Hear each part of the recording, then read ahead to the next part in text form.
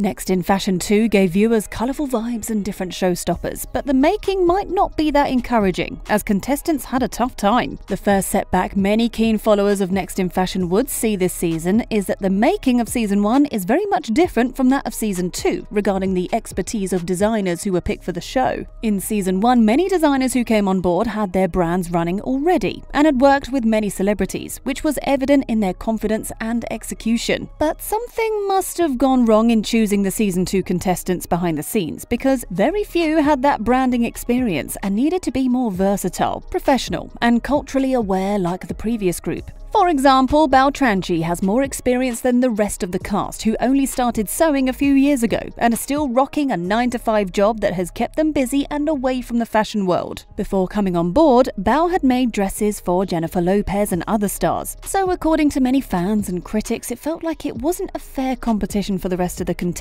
who had just started. You may have wondered how season 2 contestants were picked for this. Here it is. Many upcoming and great creative designers are invited to submit applications, including pictures of their work and samples of the items themselves. And because so many talented people are coming on board, attitude to work and camera friendliness is also a big plus, as the casting team manually handpicks the contestants. The contestants also got to do a design and sewing test before the casting team and attended many interviews to test their personalities and courage. And from so many people who applied, they get to be cut out till the final contestants are picked. But this time, Netflix took a different approach to choose the contestants, which you may have noticed, and that's drama. This season, all the contestants had an emotional story that clouded and affected their creative side. Like in the episode where they all had to do something close to home in their childhood, many viewers feel it's forced to make a story that didn't make the season come out so well. So making Next in Fashion 2 looks like a traumatic event for many contestants. Like James Ford, who's transgender and hates bringing back memories from his past when he's living a different life now. It's usually a sad event to see one of these creatives go home after doing their best to make a situation work out for them on the runway. But this season felt overly emotional. Almost all of the contestants had a moment where they cried, and hugs became very necessary at a point. But season 1 contestants didn't get this much emotional support, so many viewers think the production team made it up for Gigi Hadid to be able to console the contestants. Although it sounds far fetched, it may be another way to bring drama to the show. Also, the making of Next in Fashion 2 lacks the diversity that season 1 had, which was the thing that made the viewers very interested in the first season. But season 2 just cut that out. The diversity and meaning that the other contestants in season 1 were from all over the world. The timing is another big concern in season 2, and the contestants are unhappy with it, and even the viewers. Season 1 was more about fashion, and even though timing can never be on everyone's side, season 1 contestants got the best deal and were able to create magic. However, even though the season 2 contestants were less experienced, they were choked up with delivering too quickly. One of the contestants who doesn't work well with time, according to Tan and herself, Amari, got out of the show because she couldn't perfect her design right before the runway, and almost all of her designs looked unfinished, which wouldn't have happened with better timing. It's unfair that season 2 contestants had three days to finish up eight different and unique designs in the finale, while season 1 contestants used two days to create a red carpet dress for their first challenge. So the production of season 2 seems rushed and amateurish compared to the standards fans got a taste of in season 1. In the transformation challenge where Amari went home, many viewers think Amari should have been long gone, as Godoy could have had a fantastic transforming job for someone who makes queer clothing. According to critics of the show, the making of Next in Fashion 2 is also significantly lacking where judgment matters. And this affected some of the contestants in season 2, who had to go home early even though they had what it takes. Contestants like Megan were left confused throughout the making of the season after every runway presentation. In the beginning, Megan was introduced as this colourful, sparkly, and bright lady, and everyone loved her concept. But then, the judges and hosts started pressuring her to go for something new and outside the box, which she did, but without an approving nod from the judges. And according to the judges, Megan's design was also not noticed when she was paired in a challenge with Bao Tranchi. However, some noticeable things in this season that may not be right are favoritism and emotional blackmail. DeAndre's first piece was stunning, but he may have been kept on the show based on his first impressions, as many critics believe DeAndre wasn't as excellent in the other challenges as he kept making the same styles. The big winner of season 2, Nigel, continued to portray himself in his designs and remained in the show, whereas contestants like Megan didn't didn't make it that far despite trying to shine. Also, this season's theme is, in fact, drama, because the judges aren't just the usual designers who have genuine eyes for fashion and culture, but famous and dramatic celebrities who would fancy fast fashion better. And so it felt like Netflix didn't bring genuine fashion critics, but people who were only there to pick the outfits they could rock. The one thing you might find encouraging about this season is that the host, Gigi, was able to patronize one of the contestants in this season, which suggests that contestants get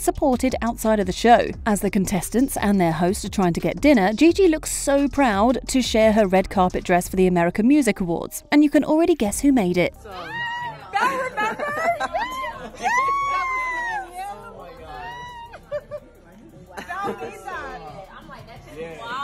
Isn't that so Bao though? Like you know it. You're like, oh, that's Bao Trench. Yeah, I know her. I know her. I know her. I know her. And the cool thing about this is that Gigi made it to the best dress list in the custom made gown at the awards. Also, she's thrilled to show off her dress as she poses and tries to capture the beauty of the garment from many angles. When season 2 of Next in Fashion first came out, with Gigi introduced as the host alongside Tan France, many assumed Gigi had little to bring to the show because she didn't have what it takes to connect with designers. But Tan and Gigi came with all the support the contestants could get, as Gigi was incredibly emotional and sometimes cried with them. Even even though many assumed Gigi couldn't be that moving, primarily due to Gigi's expression the first time on the set of season 2. The lovely Gigi Hadid arriving for the first day rehearsal. Hi! However, there's an extensive comparison between Alexa Chung, who hosted season 1, and Gigi, who hosted season 2. And many believe that Gigi is more stylish and brings more colours and attention to the show than Alexa does. So many people didn't like Alexa for Next in Fashion, but are also finding it very hard to support Gigi for the job. Although Alexa never explained why she left the show, Netflix might be aiming at making Next in Fashion more trendy by going for Gigi Hadid. And as an American supermodel, Gigi has brought more attention to Next in Fashion 2 with her 77 million Instagram followers and super stylish outfits every show that fans look forward to. During the making of Next in Fashion 2, contestants had such a busy life that they barely had a break to hang out or party. As you've seen, these contestants barely even got enough time to create gorgeous outfits for the runway, so the little night break that they got is only meant to sleep and refresh for a new day or to brainstorm how to flawlessly execute the styles to win the grand prize of $200,000. So it's no surprise that the only time the contestants got to hang out and have fun was during the premiere of season 2, and see how Qaysean Williams and the finalist Bao Tranchin enjoyed their short moment away from designing and sewing. In season 1, fans could still see a glimpse of the outside, but it's different now. Even though Next in Fashion 2 was filmed indoors, Netflix utilized some of the best locations for the fashion show. Many of the scenes that you see in season 2 were done in New York City. So the contestants, crew, and hosts used a film studio in Brooklyn to shoot the colorful and extraordinary fashionable moments that you saw on the screen. But all the things you saw weren't created in the United States alone, as the production team also took a trip to London to shoot some episodes. So even though viewers never never got to see the exterior view, the imagery that Next in Fashion captures indoors shows how fantastic the location must be. However, with all the drama this season, many fans think that Netflix gave them Next in Fast Fashion instead of the real deal. So, what do you think of the making of Next in Fashion 2? Do you think Gigi Hadid made this season so much better? Share your thoughts in the comments, and thanks for watching.